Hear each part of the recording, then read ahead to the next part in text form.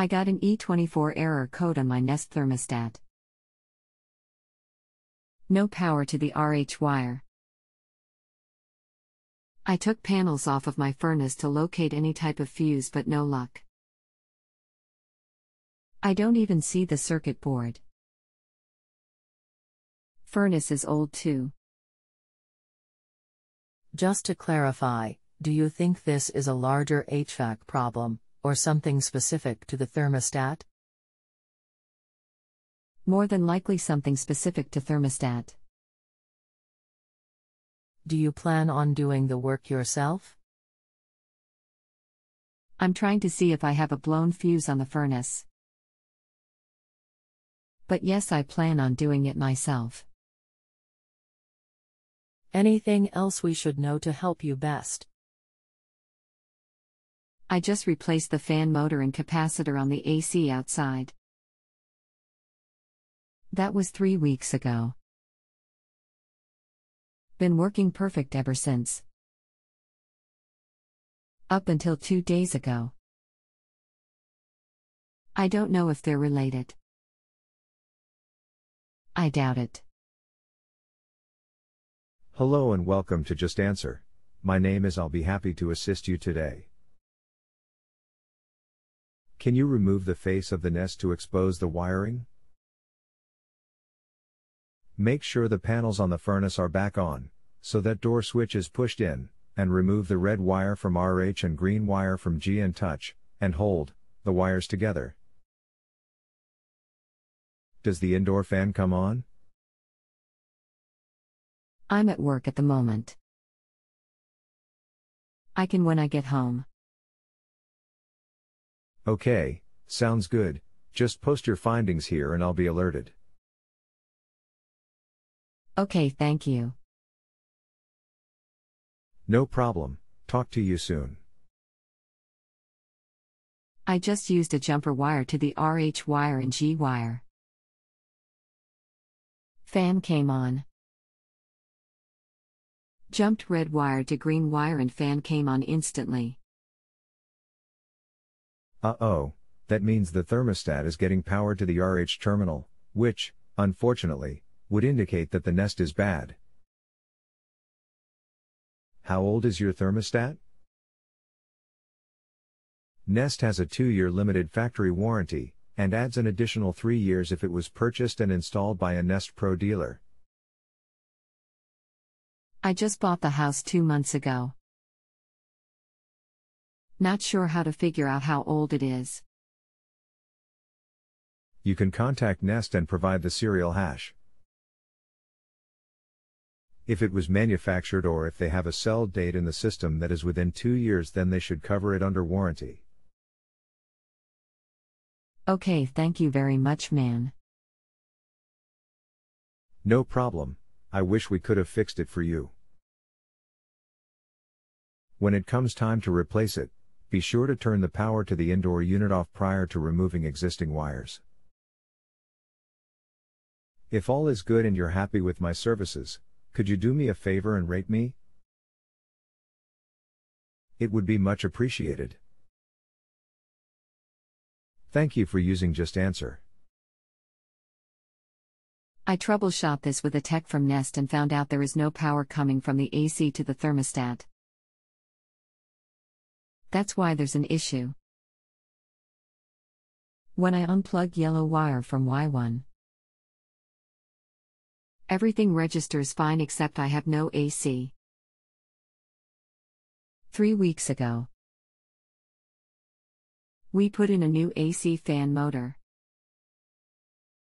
with a different used capacitor. Has been working fine since this dilemma. Any suggestions? The Nest Tech is incorrect, there is power to the thermostat. Power comes through the red wire to RH. When we jumped RH to G and the fan came on that verified that there is power through the red wire. There is an internal problem with the nest board, unless there's high voltage power going through the yellow wire. Do you have a voltmeter by chance question mark 6? No, I don't. When I unplugged yellow wire to Y1, I have no codes and I can turn on the fan through the thermostat. This is a five year old Nest Second General. I will take your word. If you think I should get a new thermostat, what would cause no power from AC that I can look into before I go this route? I can acquire a voltmeter. What should the yellow read? If you could verify voltage to Y, it would be good. Should read 0 volts AC between Y and C. The Nest has power from the AC, you will have 24 volts between R and C, which will verify this. I ended up buying a new Nest and installed. My dad came by with a voltmeter. And we only got 1.6 from Y to C. Any suggestions why my voltage isn't 24V for that test? Please and thank you. That voltage would be correct. You are getting 24V between C and RH, correct? I only have the four wires connected. G, Y1, W1, RH. From RH to Y1, I get 1.6 volts between the two. This is how it was hooked up when I moved in. So when I replaced the thermostat, I wired it exactly the same. Are you suggesting that I need to have a C wire ran from the nest to the furnace? Okay, sorry, I didn't realize you didn't have a C wire. The nest can typically run fine without a C wire, but it is possible you need one. I misread before and thought you said that you had 1.6 V between C and Y, but I see now you said R and Y. You should have 24 V between R and Y, it sounds like the red and yellow wires may be shorted together. Can you look at the indoor unit and find the thermostat wires? If so, see if you notice anything out of the ordinary. You can take a pic if needed and post it here if you need to. Okay. Thanks, man. I'm at work at the moment. But I will do so when I get home. There is an extra blue wire that is in the wall. Should I run that to common C from thermostat to the furnace? I always recommend hooking up the C if possible, otherwise that stat uses Y or WSC. That's typically okay unless the transformer is putting out less than 24V, in which case it could cause a problem. When you're at the furnace go ahead and check voltage between C and R there, be sure to hold or tape door switch if there is one, should read 24V or slightly higher. Between C and R. I have 27.9 volts at the furnace. Perfect, that's what we want. Can you disconnect the red wire from Y at the furnace, leave yellow wire connected, and see what the thermostat says? I ended up pulling out the disconnected blue, common wire, from the back of the wall and connected it to the C terminal on the furnace. I no longer have any code on the nest after doing so. That blue wire I connected to C on the thermostat to C on the furnace. Excellent, I'm still concerned that something is up with the yellow wire. Does everything work inside and out when you turn the thermostat to cool? The heat works great. The AC didn't turn on, but I researched that. And if it's too cold outside, it won't turn on. Is this true? The red wire going to Y and white wire that was going to C is for the Honeywell humidifier hooked up to the furnace. Is that the best way to wire it? Some units will not start when it's too cold outside, but most will. Red to Y and white to C should be going outside to the AC unit. You sure it's going to the humidifier? You're right. Never mind. I just relooked at it. Okay, thanks. What's the outdoor temp there? We may need to wait until the temp is higher just in case your system has the low temp protection. 63 degrees and the AC is from 1988. Lowell. Where are you out of? I'm in Illinois. I'm in Texas, hot here lol.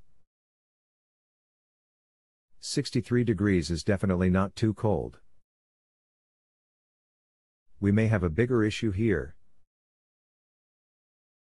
Try removing the red wire from Y and see if the indoor blower comes on when you turn the thermostat to cool.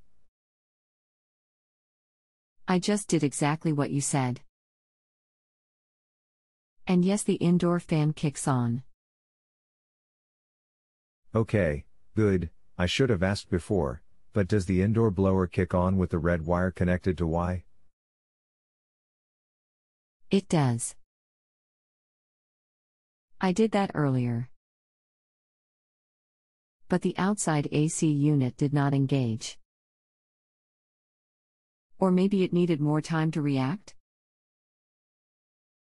There are delay timers on many outdoor units, you can try leaving AC on for 10 minutes and see if the outdoor unit comes on. If not, it'll be time to troubleshoot Y. Okay, cool, thank you. I'll let you know. No problem. I set the thermostat to cool at 60 degrees and had it running for 25 minutes. I check the AC unit outside every once in a while in between. No luck at all with the AC. Never kicked on. The temp outside is currently 57 degrees. Okay, looks like we have some further testing to do. Whether it's tonight or tomorrow, the first thing to check will be to see if we're getting low voltage, tilde 24 volts, between the red and white wires at the outdoor unit when the thermostat is calling for cool. We know we're getting it at the furnace, but need to see if it's getting outside as well. Okay, I will do so tomorrow. Thank you. Sounds good, talk to you then. I figured out the problem. The contactor does not engage. I took a stick and pushed it in manually. It fired up immediately. Can I replace the contactor?